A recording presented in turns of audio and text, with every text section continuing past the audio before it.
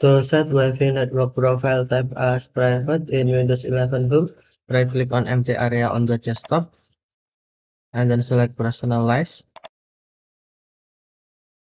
Next, click or tap Network and uh, Internet, and then select Wi-Fi.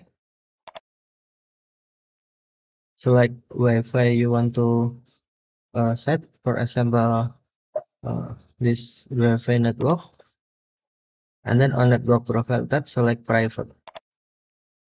Your device is discovered on the network. This select this if you need file sharing or use apps that communicate over this network. You should know and trust the people and device on this network. Okay thank you for watching. Have a nice day